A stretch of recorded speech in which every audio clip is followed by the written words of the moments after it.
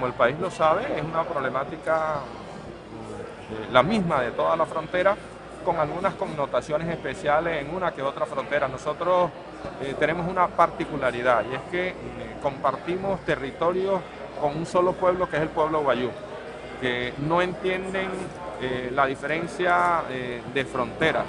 y imagínense lo que puede pasar ahí en esa región, que la gente puede circular por esa frontera, entrar y regresar. Eso lo que nos indica es que es casi que un territorio permitido de mucha gente. No es como en otros lugares, por ejemplo, para citarte un ejemplo, como en Cúcuta, que tiene un puente por donde pasan y, no, aquí eh, es amplio el, territorio por esa connotación especial de nuestros hermanos guayú, que son tanto venezolanos como colombianos.